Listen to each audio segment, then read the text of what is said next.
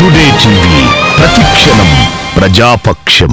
మంచిర్యాల పట్టణంలోని నడిపొట్టిలో ఉన్న పవిత్రమైన విశ్వనాథ్ ఆలయ ప్రాంగణంలోని దాదాపు వంద సంవత్సరాల నుండి ఉంటున్న భక్తులు పూజలు మొక్కులు చెల్లించుకున్న వృక్షాన్ని ఈవో స్థానిక నాయకుల ప్రోద్బలంతో డెవలప్మెంట్ పేరుతో చెట్టును నరికివేయటం జరిగింది. భక్తులు హిందువుల మనోభావాలను దెబ్బతీసే అమానుష చర్య ఇంకా మిగిలి ఉన్న చెట్టును నరికివేయటం ఆపాలని నరికిన వారిపై చర్యలు తీసుకోవాలని పై అధికారులకు మెమొరాండం ఇవ్వటం జరిగింది.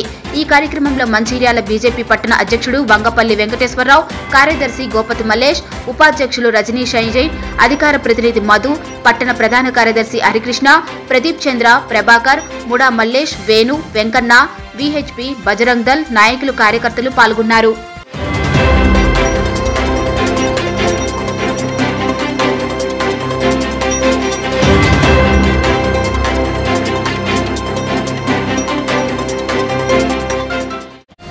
టుడే టీవీ ప్రతిక్షణం ప్రజాపక్షం.